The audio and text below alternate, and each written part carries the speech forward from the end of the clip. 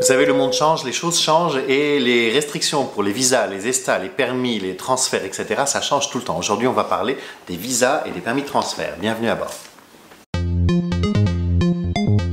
Oui, si vous avez vu la vidéo de la semaine dernière, je suis habillé pareil parce que tout simplement, cette semaine, je suis très occupé, donc j'ai fait deux vidéos à la suite l'une de l'autre. Euh, C'était un petit peu la suite de la semaine passée, on a parlé des vols de correspondance. Si vous n'avez pas vu la vidéo, je mettrai un lien par ici. Mais euh, aujourd'hui, on va parler un petit peu de tout ce qui est visa. Parce que parfois, vous pensez que vous n'avez pas besoin de visa parce que vous aviez déjà été dans ce pays il y a quelques années et il n'y avait pas besoin de visa, mais les choses ont changé. Et comment savoir si vous avez besoin d'un visa et si vous allez rester légal pour entrer dans le pays? Alors, je ne suis pas un conseiller en immigration, mon nom est Victor, moi je suis chef de cabine, donc je deal avec les passagers qui sont à bord de l'avion, mais comme je voyage souvent et je réponds souvent à des questions des passagers et à vos questions sur YouTube, euh, je me suis dit que j'allais en faire une vidéo. Si vous êtes nouveau, n'hésitez pas, abonnez-vous, euh, il y a un petit bouton rouge qui se trouve par ici, ça vous prend deux secondes et vous ne manquerez aucune vidéo. Et puis il y a beaucoup de vidéos sur ma chaîne, il y en a un peu plus de 350, donc je vous invite, après avoir visionné cette vidéo, à appuyer sur le bouton playlist de YouTube et vous allez voir euh, les différentes catégories, soit préparation du voyage, soit pendant le vol, et puis les autres sujets dont je vais aborder. Comme je vous disais, les choses changent. A des pays qui imposent maintenant des restrictions pour les visiteurs. Donc, euh, on vous demande d'appliquer pour un visa, euh, on vous demande d'appliquer pour un ESTA, qui est en fait un genre de, version allégée d'un visa, mais qui vous permet de, rentrer en tant que touriste. Puis, si vous allez dans un pays dans le but de travailler, dans ce cas-là, bien souvent, ça va vous prendre un permis de travail. Donc, euh, c'est un sujet qui est beaucoup plus vaste et qui est très spécifique à chacun des pays. Donc, je vous invite à visiter le site d'immigration du pays que vous allez visiter. Vous allez trouver toutes les informations dont vous avez besoin. Première chose importante à savoir, c'est que vous avez besoin d'un passeport pour voyager à l'international et que votre passeport a une durée de validité. Lorsque vous avez un nouveau passeport, il va durer 5 ans ou 10 ans, dépendamment des pays. Maintenant, beaucoup de pays les font pour 10 ans, c'est plus facile. Mais en fait, leur réelle durée de vie, ça va être 4 ans et demi ou 9 ans et demi. Parce que beaucoup de pays imposent euh, à ce que votre passeport soit valide au moins 6 mois ou plus avant que vous entriez dans ce pays en tant que touriste. Donc avant de partir, assurez-vous est-ce que votre passeport a une validité de moins 6 mois si ce n'est plus pour pouvoir euh, voyager euh, en toute tranquillité. Alors comment savoir si vous avez besoin d'un visa Et c'est pas forcément pour le pays destination, c'est également pour les pays de transit éventuellement. Dans certains pays, on va vous obliger à passer les douanes et donc vous aurez besoin d'un visa. C'est le cas par exemple des États-Unis où ça vous prend un ESTA si vous n'êtes pas canadien ou ressortissant des États-Unis. Si vous avez réservé votre billet d'avion et votre voyage par le biais d'un agent de voyage, il va vous donner l'information en général, ils font ça, c'est leur métier. Si par contre vous avez réservé tout seul par le biais d'internet ou du téléphone, euh, dans ce cas-là vous avez agi en tant que votre propre agent de voyage et donc c'est à vous de trouver l'information. Euh, la compagnie aérienne va simplement vous écrire sur le billet électronique que vous êtes responsable de fournir les documents nécessaires pour votre passage en douane. Donc euh, où trouver quels sont les documents nécessaires? Eh bien soit un agent de voyage, mais si vous n'êtes pas passé par eux pour acheter le billet, c'est pas la peine de les appeler.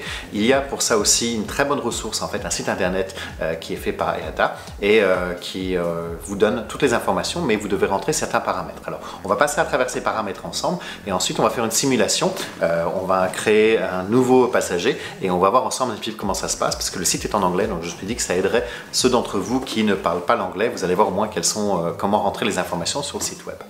Première chose dont vous avez besoin, c'est votre pays de citoyenneté. Donc, euh, dans quel pays a émis votre passeport? Vous êtes français, vous êtes canadien, vous êtes suisse, etc. Tout, ça, ça va faire en sorte que vous allez avoir besoin ou pas d'un visa. Euh, je vous donne un exemple. Euh, moi, en tant que Canadien, lorsque je vais en France, je n'ai pas besoin de visa pour y aller en tant que touriste. Mais par contre, j'ai une de mes collègues qui est de nationalité chinoise. Et si elle veut aller en touriste en France, elle a besoin d'avoir un visa. Et donc, ben, même si elle y va pour deux semaines, et j'ai une de mes collègues dont le visa a été refusé parce qu'ils avaient des suspicions pourquoi elle allait rester illégalement euh, en France alors qu'elle allait juste pour aller à Disney et voir le château de Versailles.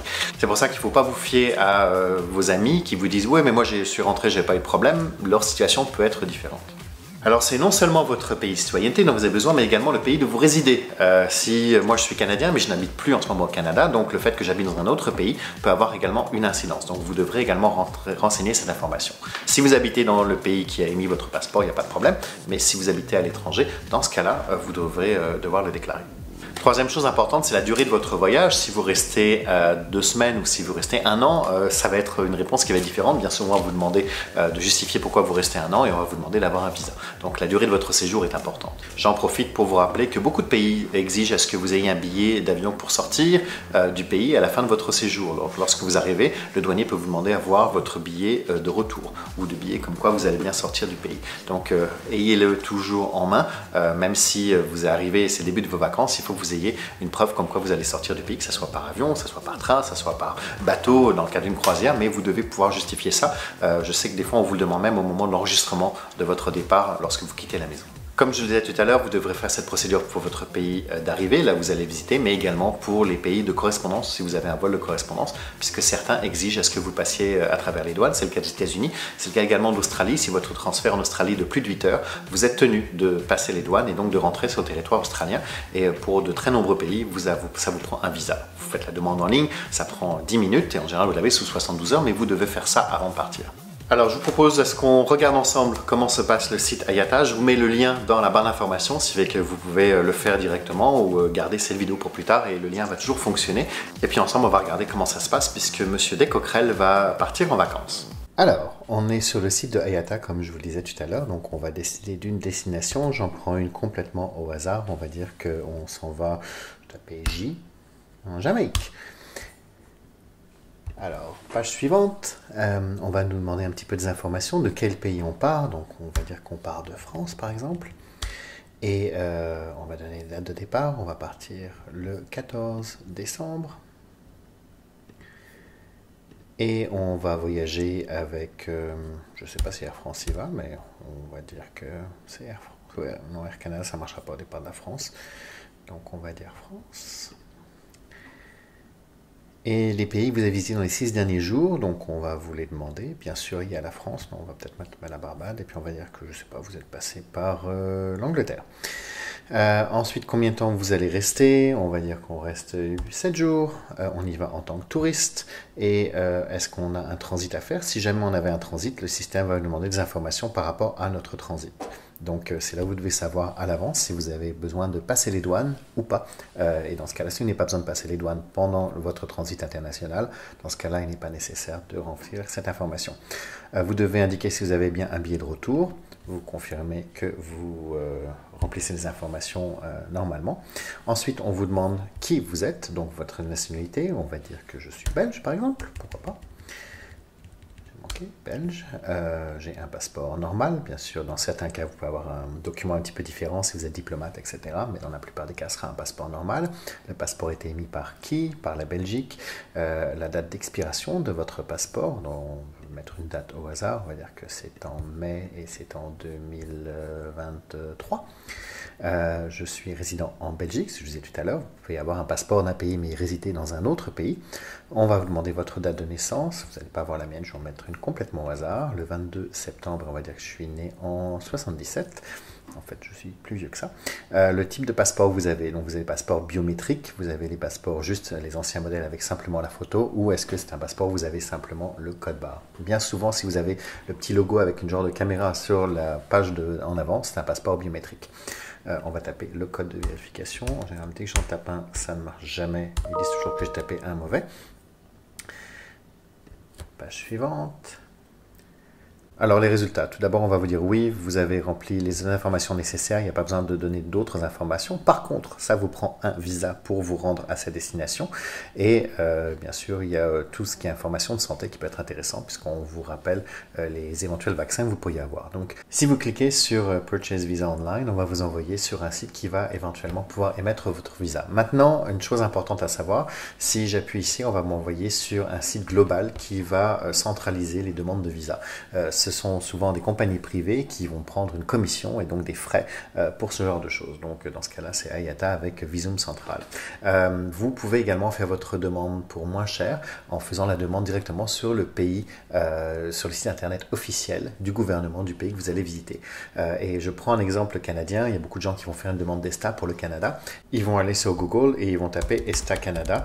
Et je vais le faire avec vous. Et ben, vous allez trouver beaucoup de compagnies en fait qui vont euh, faire la demande pour vous. En fait, ce sont souvent des, euh, des recherches qui sont sponsorisées.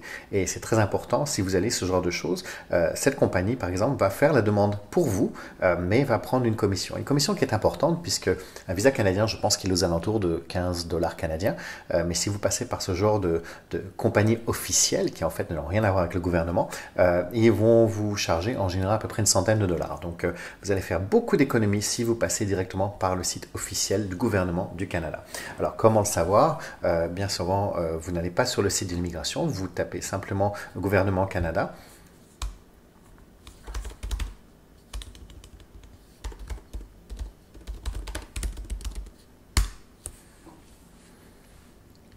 Une fois que vous êtes sur le site du gouvernement du Canada, vous allez pouvoir trouver les informations sur tout ce qui est visa, tourisme euh, et également euh, visiter. Et on va vous donner toutes les informations, mais vous restez sur le site officiel et donc vous allez faire la demande directement vous-même plutôt que passer par une tierce compagnie qui va simplement appliquer pour vous et prendre des frais très très importants. Voilà, j'espère que cette vidéo vous a plu. Je l'ai fait, c'est la suite de demandes, de questions qui m'ont été posées. Donc n'hésitez pas si vous avez des questions sur vos prochains voyages, euh, posez-les dans les boîtes de commentaires sur YouTube. vous pouvez également, comme je l'ai dit tout à l'heure, regarder les playlists parce que je réponds déjà pas mal de questions. Mais si vous ne trouvez pas les réponses dans mes vidéos, surtout n'hésitez pas. Euh, et puis ça me fera plaisir de planifier ça pour une prochaine vidéo. Ou à moins que ce soit une réponse très rapide, j'aurai peut-être la réponse à vous donner directement en réponse à votre commentaire. Sur ce, euh, une fois de plus, je vous invite à vous abonner. Le petit bouton rouge est toujours par ici. Vous pouvez mettre un pouce vers le haut si vous aimez ce genre de vidéo. Et nous, on se retrouve la semaine prochaine. Salut